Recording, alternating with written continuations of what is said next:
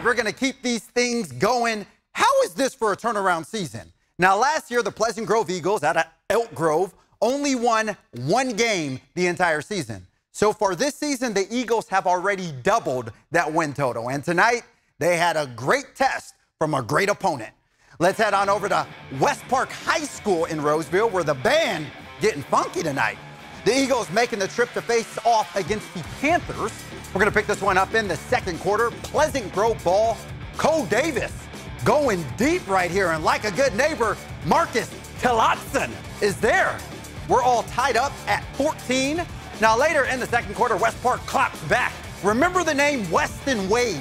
I mean, he was running like Forrest Gump in this game. He had a field day for the Panthers. Wade had over 100 yards rushing on the night. West Park leaving no doubt as they go on to win this one 35 to 24.